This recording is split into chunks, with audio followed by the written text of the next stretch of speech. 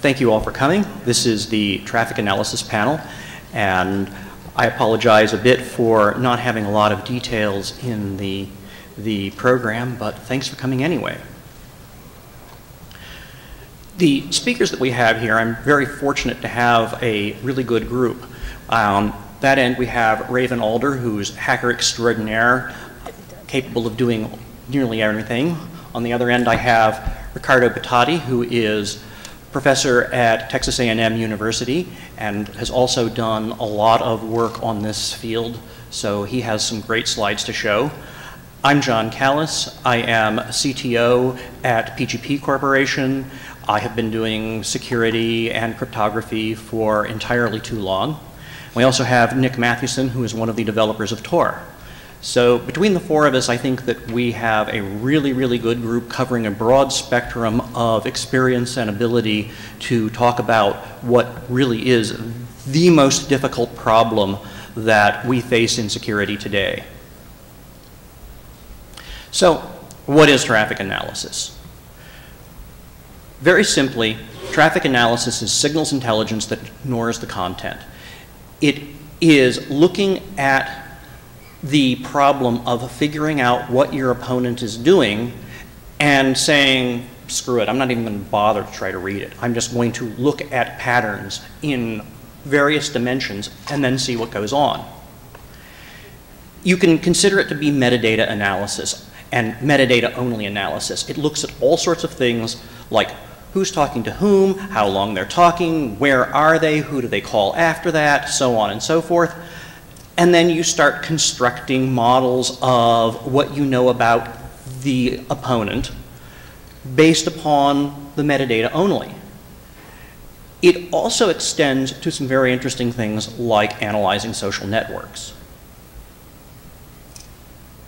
Now, it's really, really important because it's extraordinarily easy to do. Traffic analysis is looking at things that are hard to hide all the time there is more data available. The more that we use wired devices, the more we use wireless devices, the more that we are doing signaling, the more that there is for somebody who's doing traffic analysis to get a base of data to start constructing things out of.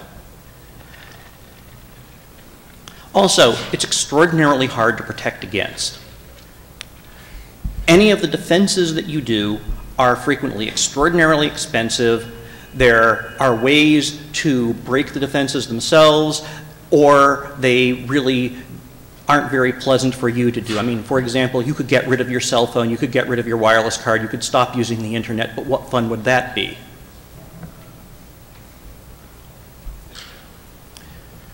So, let me give you a scenario. Let's just suppose that you have a worldwide data collection system. I mean, it could happen. I mean, somebody might have one. Let's also suppose that there's ubiquitous crypto and that it's pretty good crypto. So the major problem that you're going to have is that you're going to have data reduction problems because you have this worldwide network and there's all sorts of things going on and a lot of it's being, being, being encrypted. So you need to, in many cases, throw stuff out and figure out what it is that you need to throw out. And that is, in fact, one of your biggest problems. So how would you solve the problem with your worldwide collection network of coming up with as much information as you could? And the obvious answer is traffic analysis.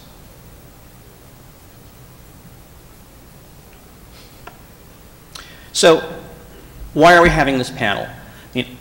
I, have been personally concerned about traffic analysis for a long, long time that as PGP architect and developer, I have known that anytime you send an encrypted message using PGP or anything else out on the wire, it basically screams, hello, I'm an encrypted message.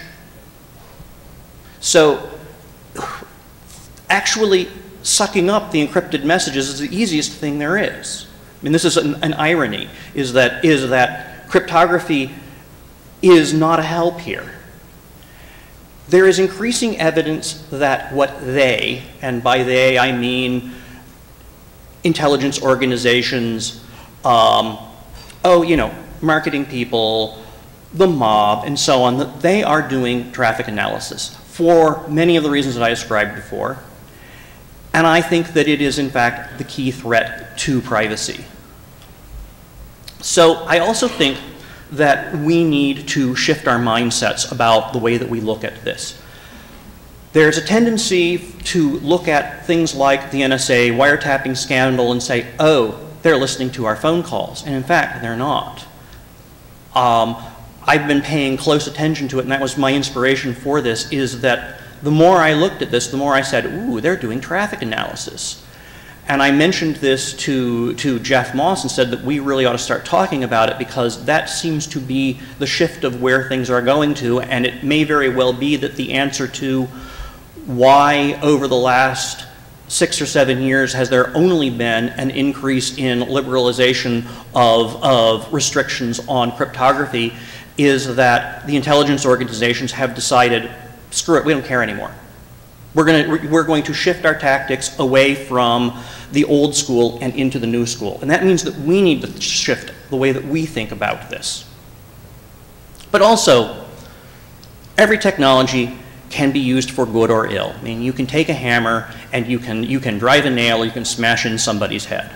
So if, you know, the, the idea that technology itself might somehow be uh, particularly evil might apply to certain things like, oh, you know, nuclear weapons and chemical weapons, but when you get to things like fire, uh, you would have to give that up. So it's best to look at these things. So the way I'm going to structure this is that we want to have a conversation about traffic analysis. Uh, Ricardo has some slides that he's going to show after I'm done here in a moment that des describe a little bit of what's going on in the world of traffic analysis, and then we're all going to talk about things. We're welcome to have questions, but we really only have 50 minutes here, and this is a topic that we could talk about for days. So uh, we, you know, we've been talking over the last week or so. If you got a question, ask it, but if I cut you off, please don't take it personally. Now, Lastly, here's a really good source. This is by George Danezis. He's got a paper that he wrote late last year, an introduction to traffic analysis, and also his slides for the talk that he gave. Read them on the way home. If you're, if you're on the net now, download them now, but read them later. It is a really good introduction of exactly what's going on, some historical context, and so on and so forth. So that's it for me. And let me get the next set of slides here.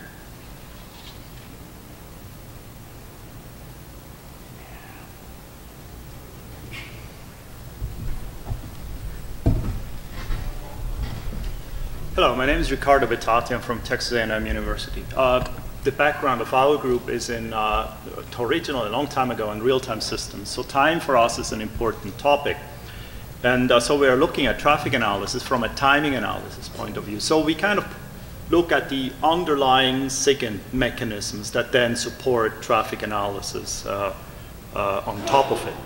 So I would like to uh, show maybe a few hopefully reasonably scary scenarios and uh, capabilities that we have today with timing analysis and uh, what can go wrong if you try to design countermeasures.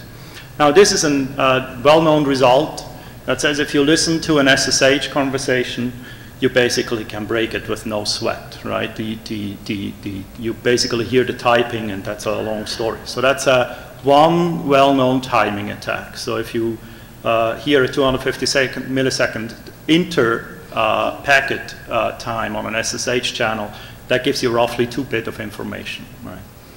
Um, that's without any a priori knowledge about what is typed. So, so if, you if you knew that what is typed is English, then you have a lot of a priori information and it, you break the, the, conversation with no sweat at all. Um, here, this is the result of a, a, a, term paper that I had a student write, uh, uh, where we basically listen to a machine that is sending data, and we are just doing some, uh, I mean, a, a, bunch of possible configurations of machines, different configurations of uh, network interface cards and and uh, operating systems. And we run a bunch of uh, classifiers on them, and it's absolutely easy to, this is basically an afternoon uh, worth of work. It's absolutely easy to figure out uh, what is the operating system uh, hardware configuration of that machine without looking at the packets that are sent. We just uh, count packets over intervals. Um, another application uh, that we have kind of looked at recently was uh, bots detection, right? Everybody would like to know if the, if the participants on the poker table uh, are, are real or, or bots. Here is an application where we look at HoneyD, and, uh, and with very few packets, we can figure out uh, whether it's a, it's a uh, honeypot or not. And uh, this is without looking at the packets, without looking at the protocols. We, we treat the entire machine as a, as, a, as a black box. It's just the timing. And the results are trivial. It's because the underlying timer uh, is really poorly implemented, right? And uh, we see this. So what are countermeasures? Uh, link padding is a classical countermeasure. You try to you try to have an underlying uh, uh, uh traffic uh, pattern, and you, what you put is a, uh, some sort of a cover pattern on top of it. And so this is an, a possible Im implementation thereof, and it shows that the problem is that is link padding is really, really, really hard. And here, actually, it's very difficult to see. Maybe we can basically listen on the radio. Uh, the, the, cover channel that goes over a linked pa uh, li a padded link for even an, an, passive observer is a very high capacity channel. Um, other uh, scenarios, and, and, here we're looking at uh, a naive implementation of a anonymous uh, networking scheme. Uh, some of those mix, this is, if we look at the naive implementation of a so-called mixed network, problem is those networks interfere with the delivery of TCP traffic.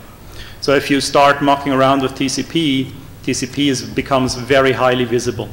And so it's very easy to uh, uh, um, uh, identify um, uh, flows and where they go to. Now again, this is just a naive implementation. Um, if you make larger networks, you muck with TCP even more and gets worse. Uh, actually, the results are even worse. Uh, we don't need to do end-to-end -end analysis. Uh, what we basically can say is that even if we just measure aggregates in a network, we, we think about it, we just have a bunch of measurements that do nothing else than, than count packets. We, do, we don't look at the packets, we don't know where they come from, we don't see headers, nothing. We just count packets. by counting packets, we can identify individual flows. All we have is access to aggregates we can dissect the aggregates into individual flows without even knowing what those flows could be. This is a, a signal processing technique called uh, blind source separation. Think of it as, uh, as uh, uh for people familiar with um, tomography, this is tomography on steroids or tomography with no safety net. Uh, uh, we can, we can even if we have crowds, we have access to only aggregate data and we have no models of the traffic. All we do is we count packets. It's very easy to get end-to-end -end connectivity. Gets even worse. When we go in the, net, in the wireless network, we can, even with simple sensors that can only count packets, they don't know where the packets come from, they have no MAC address, they have no payload information, no nothing. We can separate all the flows into individual flows. We can identify, because of reachability, we can identify where they come from with very high accuracy. That's physical geography. We can, we can, so these are, we have sensors to think of it as 802.11 uh, receivers that we scattered in the field and um, and uh, we just have a bunch of 802.11 sen uh, senders that are not distinguishable in any way. Hmm? And we can still locate them to a few meters. Uh, it's even worse. We can, uh, we can reconstruct the path. In this particular case, we know that the sender is in the middle of that white blob, and we know where the, we know the possible locations where that sender is talking to because the same signal, although it's again hidden in aggregates, can be separated out and we can uh, guess roughly where the, where the receiver is. Now the receiver happens to be uh, where the, I'm not sure how well you can see this, but, but the receiver happens to be where the other blue star is and, uh, and we, can, we have an estimated region where that receiver is. Okay, this is just a little overview on some of the techniques that could be used to provide the underlying uh, signaling, uh, uh, signal processing for traffic analysis. Yeah, go ahead.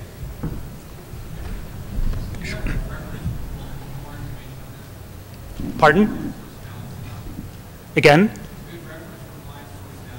Uh, yeah, go to my website, and there is a paper that uh, has a good, very, ex extremely good reference. Yeah. Pardon? Uh, we want to know URL.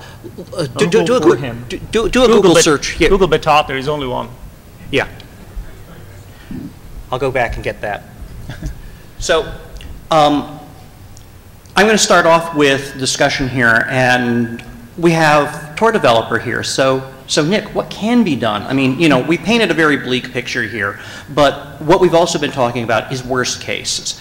We really have been talking about what happens when you have a lot of large-scale surveillance, but there are very effective things that you can do in a lot of normal cases. So what is possible and useful?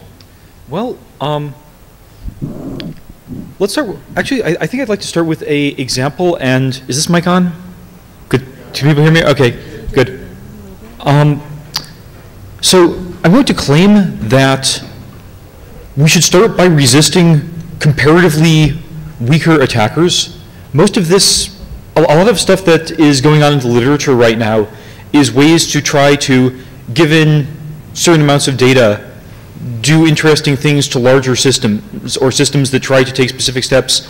But something that hasn't really reached public understanding, and I don't even think in the community here has gotten enough attention, is what you can do just by looking.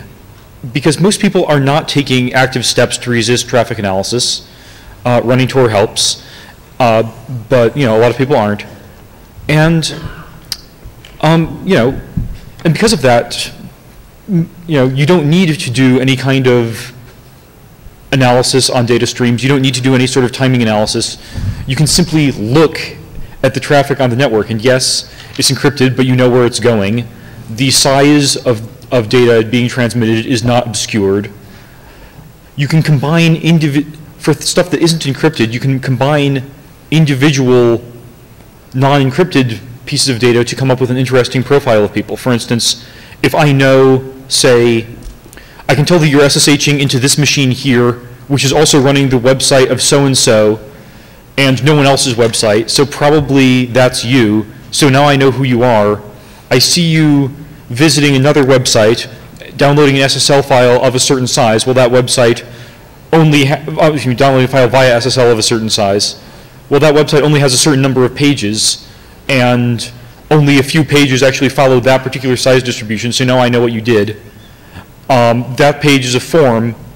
Well, all right, there's only a few options. You, you sent something in that makes me think you sent in a dozen characters or so. That probably means you chose option such and such. Um, and la- later on, you visit some LiveJournal friends page. Maybe that's you. Maybe that's an account you didn't want linked. You visit five, a, a- a bunch of other sites, and basically, I can get a pretty good profile of you from just observation right now if you aren't taking steps against it. So, yes, back to the original question, what can be done? Um, it kind of depends against whom. Against a large intelligence agency that is eavesdropping a whole lot and maybe might know somebody who knows statistics and can read papers, not a lot right now. Um, sorry, uh, don't arouse suspicion, carry on conversations in person in quiet tones. But, you know, against, against the folks in this room, yeah, you, you can do pretty well, I think. Um, anybody want to add anything? Did I even answer the question? I'm, Raven, do you want? One of the other things that I've seen recently, and something that you guys can do, um, many sites, particularly social networking sites, it's sort of a peer model. You know, you can link to people, they can link to you, and there's differentiation between who does that, and that can be a really valuable source of information. You know, for those of you on LiveJournal, I'm sure you've seen people stomp off and delete their LiveJournal and have a tantrum, and then suddenly, like two days later, someone pops up with all the same friends, and you know, it's not really hard to figure out. Um, there are options on some of these sites for obscuring who is allowed to see who your friends are, et cetera, but a lot of the time there's back-end databases that are publicly mineable that do this sort of thing as well. Um, we were discussing in the prep dinner last night that we haven't seen a lot of cross-site correlation, but, you know, if I'm Raven at LiveJournal, I'm not, but, you know, maybe I'm also Raven at Orkut or Raven at LinkedIn or what have you, and you can look at those and see if there are similar data patterns across those as well. Um, one of the things that I found being privacy aware, I've tried for years to make sure that when you Google my name, what pops up is mostly respectable. You know, you see me posting to LinuxChix and you know, you get my own web page and a couple of articles that were written, and I was very pleased by that. Uh, so last year, there was a piece in Slashdot that was written about me, and that caused a million of my well-meaning, not-so-security-aware friends to write posts that were public in their blogs or other forums going, oh, hey, my friend Raven's in Slashdot, link to article that contains my full name. And, oh my God, I remember when we went to Lesbian Ninja Pirate Weekend and did blah, blah, blah. I'm like, ugh. You know, this is not what I need future employers to be Googling on. so, you know, the lesson there is that even if you are paranoid and careful, you may be linked to people who are not paranoid and careful. And just by looking at those patterns, you're still in trouble. So I went around and thwacked all my friends with the security bat for a couple of weeks and explained why it was I didn't want them doing this and had to wait for it to expire from the Google cache, but I'm sure archive.org's got it. So don't be me. So I'll, I'll add in a little too, which is that there, there still are nonetheless tools that you can use, and Tor is a valuable one. You just have to understand what it's good for. I mean, for example, suppose that you don't want anybody to know that you got a copy of PGP. Well, if they're really after you, that might be kind of difficult, particularly if you start sending a lot of emails using it, because they will say begin PGP message at the beginning of them all. Um, but downloading the software from Tor doesn't put you in our weblogs. Similarly, anything else where you go, I mean, Tor has this, has this ability to remove or blunt some of the signals that people are going to get from log analysis. And particularly because logs are very likely to be retained for God only knows how long. Uh, relatively few people have, have policies about how quickly they burn them. So if you're going to be there and you don't want anybody to know what IP address that you downloaded something from, it's very simple. I mean, use Tor. Tor, Tor will protect you from that level of analysis where there's lots of stuff that's been lying around in tracks that can be done from, from IP address and geolocation after the fact. It will also be helpful for you guys to just think about the metadata that you're sort of scattering in your wake as you go around living your daily lives. You know, I think probably half of you have cell phones that are probably turned on, and that will give, you know, hey, this phone is registered to the network in, you know, roughly this area with respect to a tower at this time. And if you don't want people to know you're hanging out at DEF CON, that might not be the most brilliant thing to do. Uh, every time you use your credit card or something like that, you, you leave a little bit of data footprinting. And even if you don't look at, okay, how much you spent or where you spent it, you can still see, okay, the credit card was in use at this time, and that provides tracking information about you that you want to be aware of. So just start thinking about these things. I'm sure most of you have already had some thoughts along those lines. So the, so the next thing is I want to get a little bit more theoretic just for a bit, and that's to talk about what we as a group can start doing with this because traffic analysis properly applied is an extraordinarily powerful tool. And we could start using it for doing things like fighting bot networks, fighting fraud, get rid of phishing sites, do all these sorts of things that are good for the world, and we can start coming up with ways that we would monitor the bad guys' traffic, just like, you know, there are going to be people who might be bad guys monitoring ours. And we haven't thought about this at all. So I'll toss that open as, as, as what can we start doing to use this technique ourselves? Anybody? Yeah.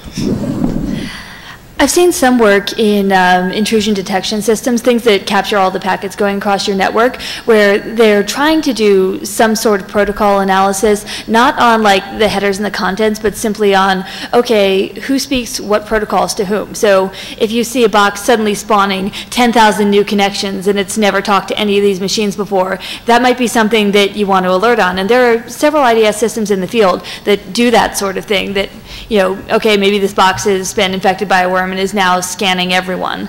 And it can be helpful to, to um, divine particular new network events that are anomalous against the background. There's a number of bad implementations of this sort of thing, but they are improving. They're certainly better than they were three or four years ago. And for a good network administrator, it can be very useful to see, you know, the pattern of connections as your boxes get infected. Also, um, I'm not entirely certain it qualifies as traffic analysis, except I think it does under your definition. Um, authorship analysis is fun and easy, and everyone should try it.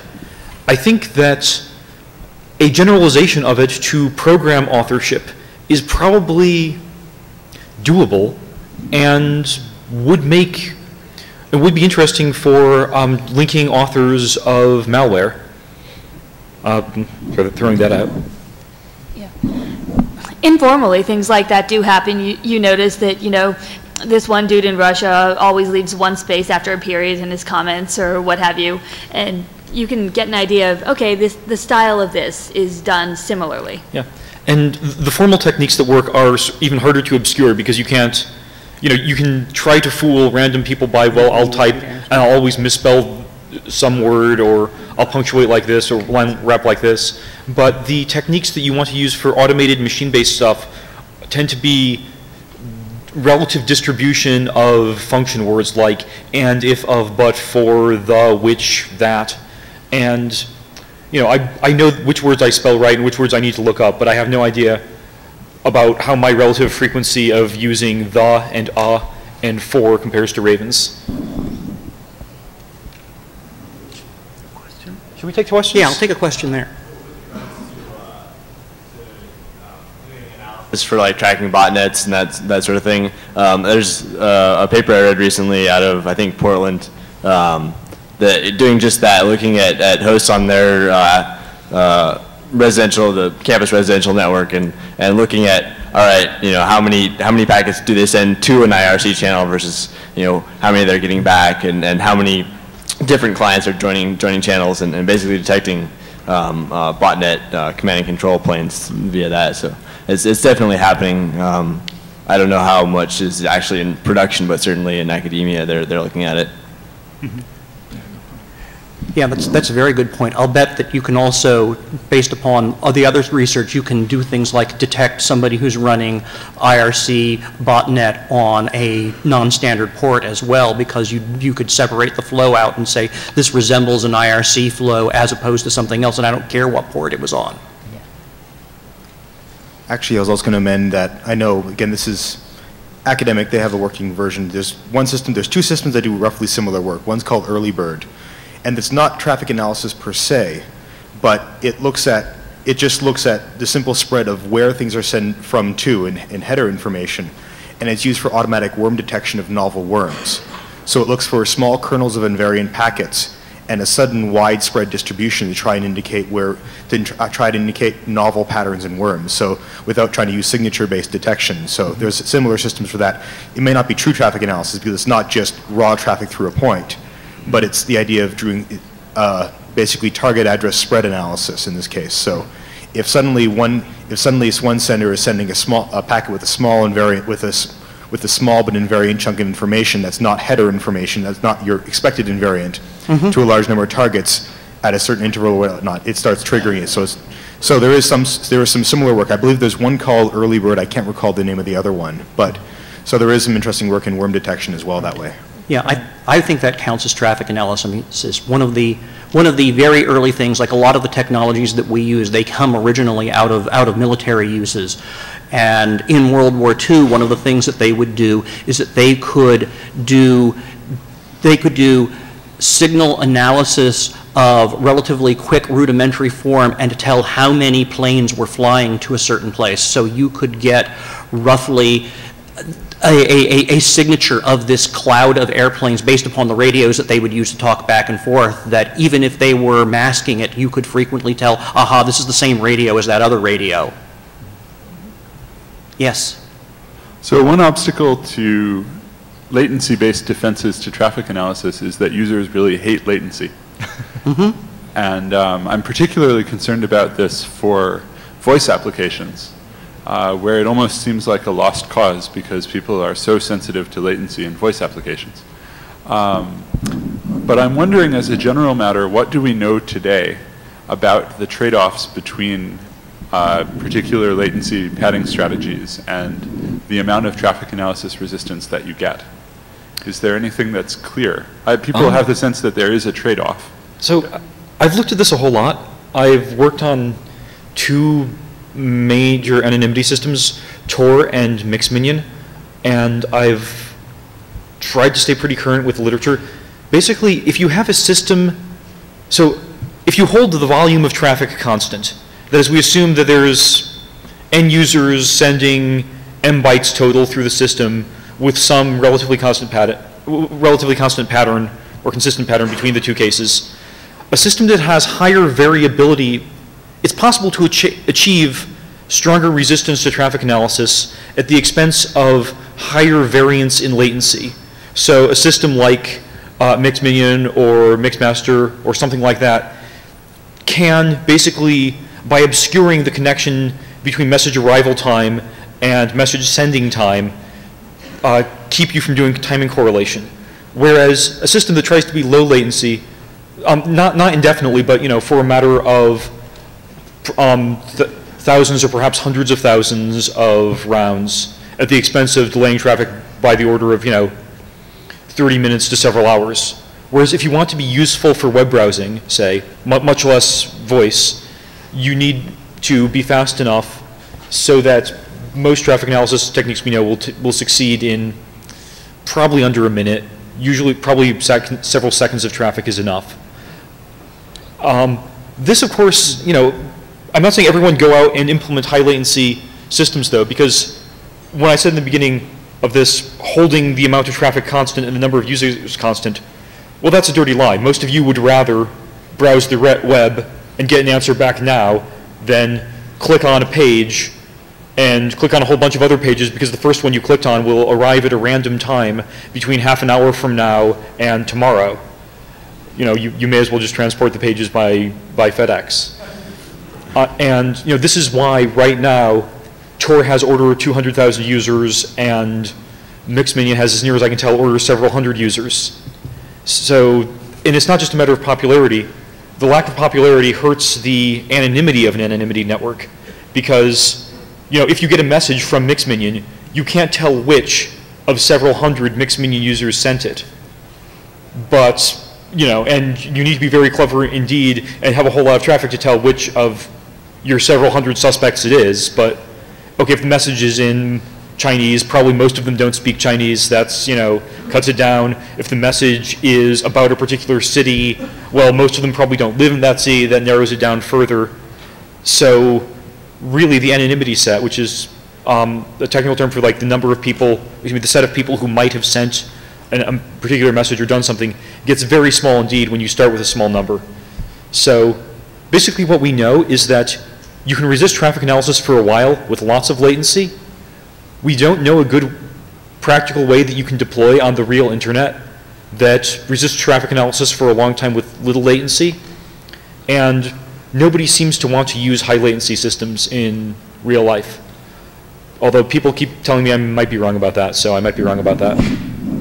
I, Um, order 200,000, although it's kind of hard to tell, they're anonymous. Could I bring a, make a comment on that too? Uh, The operational definition that we use for, uh, for, I mean, that our group uses for low latency uh, um, anonymity networks is uh, as long as the, the, the latency that is added to packets do- does not mop with TCP, right? As, as long as it doesn't break TCP, for us, it's a low latency communication. And the, using that operational definition, the, the larger the delay that you add, the worse is the anonymity that you get at the end. Yeah. Although to be, f- to be fair, um, no currently deployed anonymity system actually transports raw IP frames. Right. So nobody is actually doing TCP over Tor or TCP over really any of these. I think, I couldn't tell you um, about Zero Knowledge. I suspect that they did something clever to try to work around this, but, um, you know, but, but their product, the Freedom Network, is no longer with us, so it's not necessarily relevant. Anything else? Um, well, I mean, really, really, I mean, actually, sorry, I, I just got interrupted, and I wanted to say that that, that the the uh, protocols that are used, of course, in anonymity uh, networks are not totally naive, right? I mean, that you, you don't want to you don't want to use a tight loop, uh, high high timing footprint feedback control mechanism like TCP. Uh, when all you want to do is, is you want to hide your your your your, uh, your footprint. The other point that I want that may be related to the to the question that you're asking is is and that's a bit of a pet peeve that I have in general with this whole area of of, uh, of uh, traffic analysis is that we are really not we we really should focus on finding metrics that, that allow us to to think structural in a structured fashion about what, how much protection do, do we get, right? In anonymity systems, they are relatively uh, uh, well-defined systems, right? You have an anonymity set, you would like to hide the, the anonymity of users, so, you know, so, so, so, so, so how much information do you leak and all these kind of things, right? So, so, so there it's relative, but still, it is, I, I always compare it to encryption. Encryption is so pretty, the story is so simple that you can tell, right? You can, you can tell a customer, you can say, you know what, there is some complexity analysis that tells me that the, the effort that an attacker has to make to do a, a, a particular type of attack is bounded, right, by some whatever. And, and that does not exist yet in the traffic analysis. We don't even know how to think about it, right, at this point. So if the moment we could come up with some metrics that will allow us to, to, to, to, to tell a simple story, right, then, then we would already be in a much better shape. Right. All right, I'll take the next question. A minute ago, you were talking about RF fingerprinting, and certainly after the Johnny Cache talk, uh, RF fingerprinting seems pretty powerful form of traffic analysis, and one that just keeps getting easier and easier. I know that several people have been playing with GNU Radio and trying to look at cell phone uh, RF fingerprinting based on cheap hardware. And we also know that OS stack client fingerprinting is very easy with passive uh, observation. And in theory, it should be pretty easy to do geolocation via uh, fingerprinting, just, I mean, this, this much delay. Is there anything public that you know of that is working on actual client IP and TCP-based fingerprinting uh, based on timing and things like that? Because it seems to me like this is tractable. Do you know?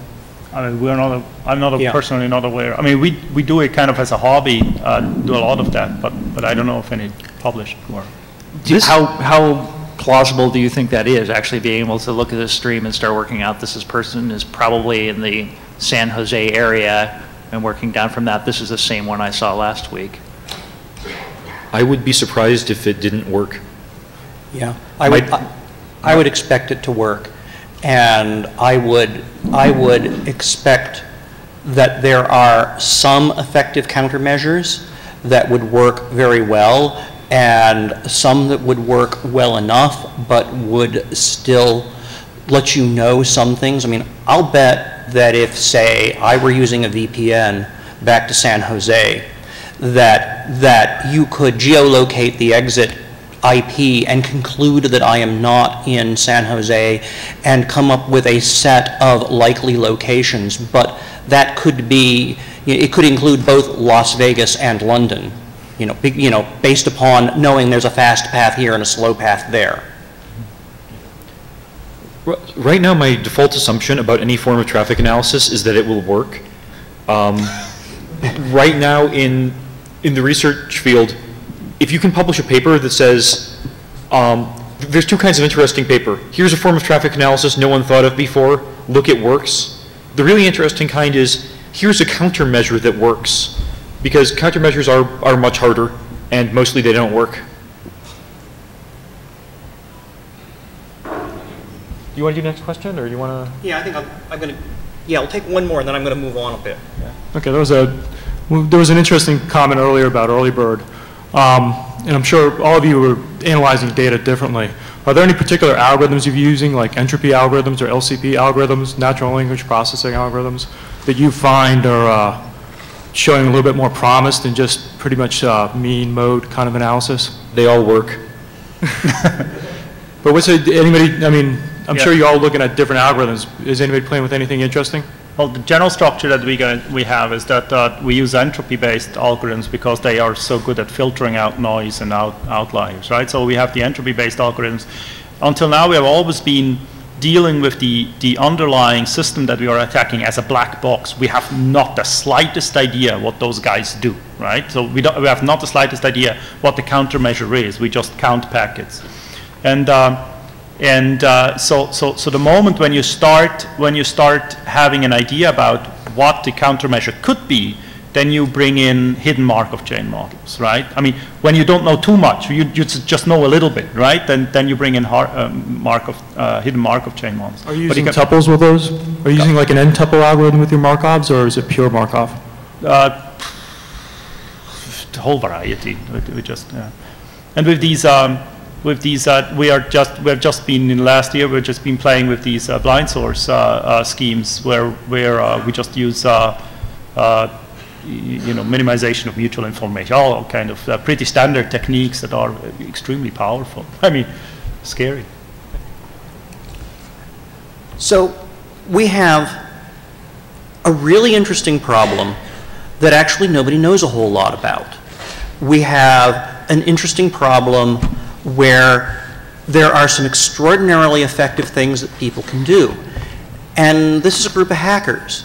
So wh- one thing that I'd like to suggest is that people who are out there, you know, you and people you talk to, start thinking about how you might construct systems that use traffic analysis to get some interesting real-world results so that we start learning more about this.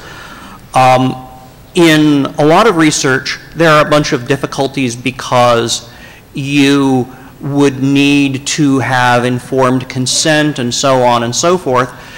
And it would be difficult to construct an experiment because you would have to essentially get everybody's permission, say, on a campus network that, that you could analyze their traffic, and that's not going to work.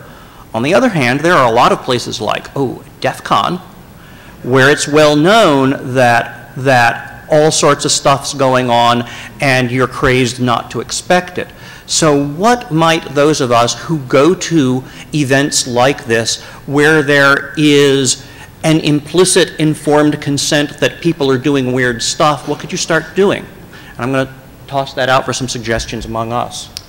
Well, I'm going to make a hopefully mildly controversial proposal and claim.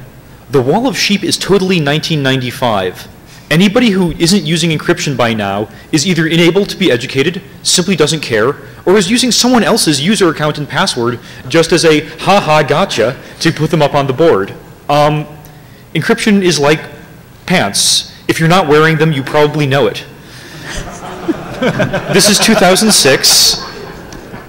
On the other hand, I bet, you know, very few people in, in this room are taking active steps for their, what traffic they send that is unencrypted to really think about linkability issues and profiling issues in all of their traffic. I bet comparatively few of us are thinking about, well, you know, if I look, if someone were looking at the timing of the SSL frames arriving to me, I bet they could tell pretty well what I was looking at on Amazon, what I was doing on eBay, um, and you know, something like that. Think of how neat it would be to actually have a display or some sort of readout of what everyone was doing that actually surprised people for once about how well it worked.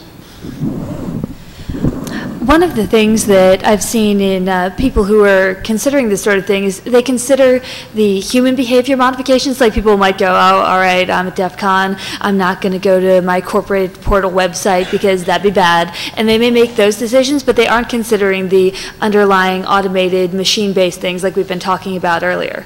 And, you know, these things are getting mapped. Like, I'm sure some of you have also had the experience about three or four months ago where you suddenly started getting a whole bunch of spam where the subject lines were from people you know, like people you know who have pretty uncommon names. I know I got a whole bunch of it, and there's no way that it's just, you know, randomly generated. So people are out there mapping these networks and relationships and using it for their financial creepy purposes. We need to start looking too. Oh, another quick thing. Um, everyone says, everyone knows at this point, don't go making ciphers until you've spent a lot of time learning cryptanalysis. Um, you might not want to go out and start designing countermeasures to traffic analysis until you've done some traffic analysis for a while, because if you don't, it's not all that hard to design something that surpasses your own understanding of what you know how to break, but I bet if anybody comes up to me with an unbreakable scheme after for, tra for traffic analysis resistance in the next month or so, it's experience suggests it probably won't work. So then again, you know, maybe maybe we'll solve this problem really soon, and I'm wrong about that. Oh, but I have this badass perfect encryption algorithm that I designed myself, and I have this bridge in Brooklyn. Does it use chaos and fractals? oh my God. Okay, we got five more minutes, so let's, let's, let's make good use of it. I'll take the next question. I have two kinds of pessimism that have just come to mind that I wanted to inject. Um, one is the idea of the cost of countermeasures, not just in terms of added latency, but in terms of if you want to send cover traffic, then you need uh, to send more data on the network. Uh, correct. Briefly, no one has a affordable cover scheme that the average web user is willing, is able to implement, that a volunteer network can implement, and that actually helps resist any kind of worthwhile traffic analysis. You are right there. This is a, an active research topic. Um, and so certainly for people who are running Tor, even if there were a technically feasible way of doing it, um, people are already feeling lucky just to be able to dedicate as much network capacity as they do, even without injecting more network capacity requirements. Exactly. There's no as, as the Tor network is currently structured, it seems very unlikely that people would be willing or able to actually um, provide bandwidth for cover traffic in any amount that would actually help. The other thing is, even if your packets are encrypted, um, the nice graphs that we saw before about flow separation and all those nice results are without looking at unencrypted protocol headers. But the unencrypted protocol headers are actually present. So people can actually intercept them and actually use that data as another input. Mm -hmm. So even on top of what we've seen, um, a real attacker who wants more data inputs would also be able to use source and destination IP addresses, yep. maybe TCP ports, things like that.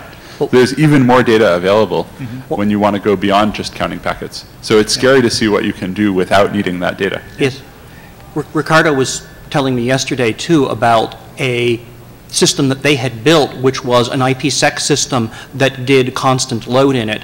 And after they built it, they started using these timing techniques and could then start extracting information from it. And all of that constant traffic running everything full bore was for naught. So I'd like to make a suggestion for uh, productive work in the future.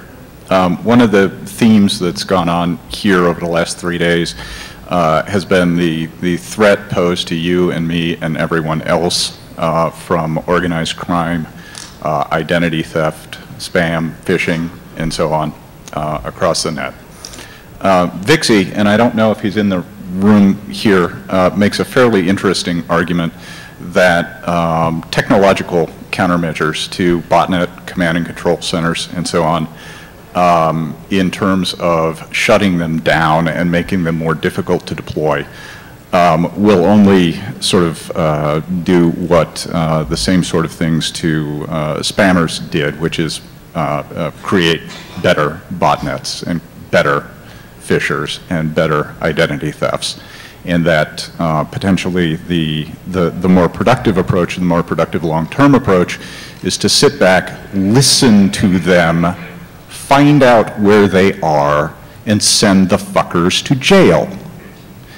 If you want to participate in something like that, it strikes me that a, a, a, an extraordinarily productive white hat sort of measure in using traffic analysis and signals intelligence is to start listening to these fuckers and find out where they are.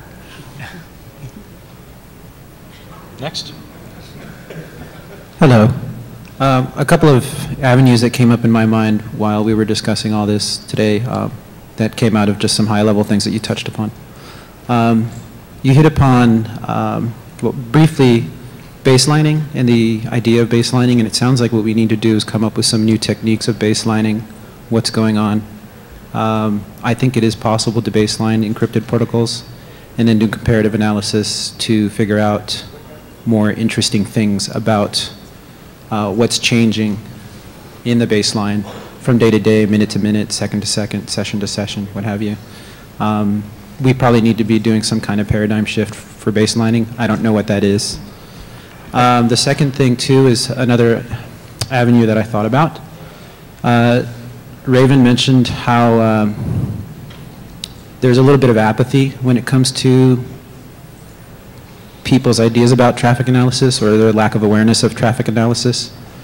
Um, somehow, traffic analysis needs to be made sexy, damn cool. Um, We're trying. yeah. Go do some and frighten people with it. Yeah, yeah, yeah. And, and, and yeah. also, there is a huge opportunity here because we're still at the stage where we don't know what we don't know. Right. That, that we are reaching into the dark and coming up with continual surprises of, oh my God, this is incredibly useful, more than I ever thought. So what we need to do is to start figuring out what's going on. And that means that if you want to do something, the chance that you'll find something useful Right. is really high. Yeah. From kind a of- public perception point of view, we're in the 1980s and your manager doesn't yet know that you can look at Ethernet traffic Right. that isn't your Ethernet traffic. You can read my email? Uh-huh. You mean it's not secure because it's on computers? Right. It goes to other people? So- Bizarre. And something that else was just a crazy idea that bobbed up. Um, you were talking about entropy-based um, methods of uh, countering. Uh, maybe there's something we can do with the apathy and kind of come up with apathy-based methods of countering. just a just a wacky idea. Well, not I think um, y- that it's not all apathy. I think there's some lack of awareness and some sort of feeling of helplessness. And so, you know, by advancing research in the field, we'll help deal with both of those. Real quick, because I know we don't have much time left. Yeah, this is probably The, uh, our last one. Yeah, the, uh, the perception of information that we have for our digital finger, digital fingerprint, like Greg Conti's talk on the information being collected by Google, Yahoo, so on and so forth, will it help if we reduce our digital fingerprint to make it more difficult to do traffic analysis to associate people's activities down to a single person? Reduce or lie. Um, one of the things that came up over dinner last night was the existence of those frequent shopper cards that you get at grocery stores. And one of the best things that I've seen for that, I know there are people who swap their cards around, and then you just end up with someone else's fingerprint associated with your name effectively. But there's this fantastic guy out in California who has this clone army of people. And if you send him an email, he will send you a printout of the, his barcode on a sticker, and you just slap it on your card. So, you know, there's 10 zillion of him feeding that fingerprint, and that's pretty awesome. I'm sure that if you really dug into it, you could start separating out data flows within the Rob Cocker frequent Safeway shopper, but I don't think Safeway is quite that sophisticated. Yeah, rising above the baseline of sheer doing nothing helps. Um, though keep in mind, if anyone really cares, simply lying without pattern is not going to help necessarily. All I, for relationship stuff, if I can link like Raven to some aliases of Raven's because of one thing she did once, well, it's linked no matter what she does in the future. Mm-hmm. Yeah. All right. Thank you very much. Thank you for coming.